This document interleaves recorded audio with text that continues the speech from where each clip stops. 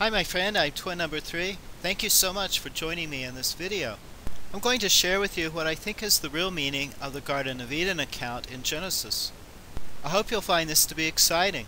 If nothing else, then I hope by the end of it you'll say, Oh yeah, that makes sense. People often say that the Bible is hard to read, hard to understand. And they're right, for a variety of reasons. For one thing, the Garden of Eden account is an allegory.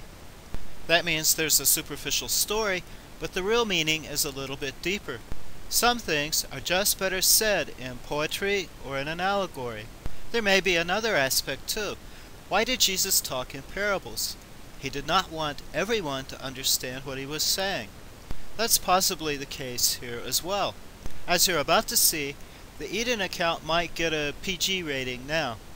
There are things being said here that Perhaps children should not understand the same way as adults. Unfortunately, most people now only know the children's version. All of these things I'm telling you about Genesis are based on very many years of unpaid research under fairly difficult circumstances. So if you choose to use something from here, please do cite the source. Partly that's for my protection, although I've copyrighted all of this, but mostly it's because I've only just begun to explain to you what Genesis means. A little bit of information is very easily misinterpreted. Wrong ideas can hurt people. I'd like to ask your help in another way too. I'm trying to get a great deal of information into just a 10 minute video. The book of Genesis relays several streams of information at one time. I've decided to follow that lead, so the slides may not line up exactly with the narration. There's extra material in the slides. So I'd like to ask that you listen to the video and then maybe go back and look at the slides a second time. I'm sorry for that inconvenience, but that's the best that I could come up with now. And if you have ideas, please share them with me. I'd love to hear them. Okay, on to Genesis 3. Most people think that what happened in Eden is this. God made Adam and Eve, put them in a garden, told them not to eat an apple, and if they did, they would die. Well, of course, sooner or later that commandment would be violated. The whole situation seems very arbitrary and a setup for a fail. Now the Garden of Eden account explains how suffering and death entered humanity. Those are very high stakes.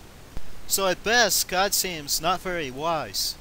Now in fact, there are quite a few things wrong with this popular view that I just outlined. For a full explanation, please see my earlier videos. I won't read through the whole text here because it's really way too long. But what I'm covering is the third chapter of Genesis. If you don't have a Bible, you can easily find a number of translations online. So what went wrong in the Garden of Eden? How did that lead to suffering and death for every one of us? Now please keep in mind that myths and allegories are true. They're not necessarily historically true, but they do relate an important truth. Also keep in mind that this did not necessarily happen on a dense material plane the kind of plane that we spend most of our time on. Also, while there is a talking snake in the Garden of Eden, there is no apple. That's something that's not in the Bible, it was made up later. And then finally, here's just a quick reminder. The first part of Genesis sets up two ways. They're called the way of death and the way of life due to their ultimate outcomes. The way of death is described in Genesis 1. It's the creation of the Elohim. Maybe the major mistake in translations is to say that Elohim means God. Elohim are creator spirits. These particular ones were very fragmented ones called male and female. They're obsessed with procreation, domination, control, all of the things that we find in a materialistic heterosexist society. The second way is made by YHVH Elohim. This is a complete name, and this aspect of deity creates a complete person. Now there are two kinds of Elohim, fragmented and complete. Presumably in YHVH Elohim, the name there refers to complete ones. The complete person receives these directives. Take care of the garden, protect it, and avoid the tree of good and evil knowing. I'll explain in just a moment what that is. The complete person was called Ha-Adam, the human, but Elohim fragmented out the woman. So that's where Genesis 3 begins. This is the first day of the woman's existence as a separate entity. The snake approaches the woman and hisses, Did perhaps Elohim say you may not partake of any trees in the garden? Now this is a trick question. Elohim said, partake of any trees that have seed in them. Remember, they're obsessed with procreation. YHVH said, don't partake of the tree of good and evil knowing. The woman is confused about this in her answer. She says, Elohim says we may not partake of the tree in the middle of the garden. That's wrong. It was YHVH Elohim who said that. And she adds to this, you may not touch it. Now, what is the sin in the Garden of Eden that leads to suffering and death? I believe the answer is procreative sex.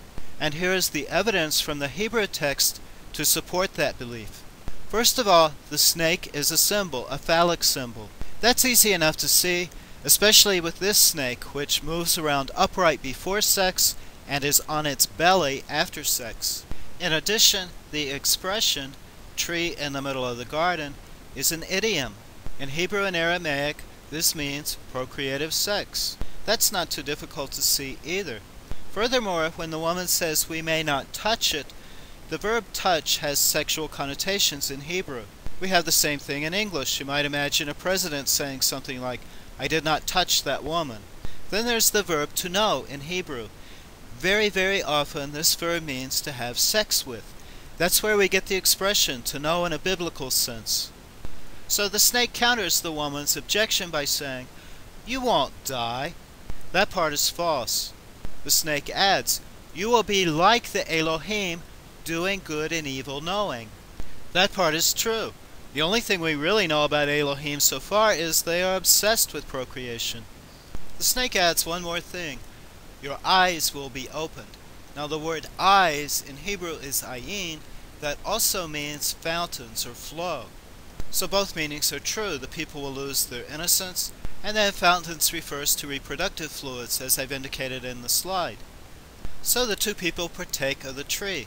The immediate result of this is the conception of Cain. More evidence that this is a story about sex? The people make loincloths for themselves. So they were running around naked and innocent before, now they cover up their genitalia. This is followed by the showdown with their maker, YHVH Elohim. The human blames the woman. The woman says, the snake seduced me. All in all, I think we have a very good case so far for this being a story about sex. But if there are any doubt, look at the punishments or curses or consequences of their actions. These are especially notable for the woman. They include pregnancy, labor pains. She will suffer when bringing forth children. Now the text said nothing about children before this. In addition, some women will feel desire for some men. And if your Bible says husband in verse 16, that's a false translation. The word is man. Finally, men will try to rule over women.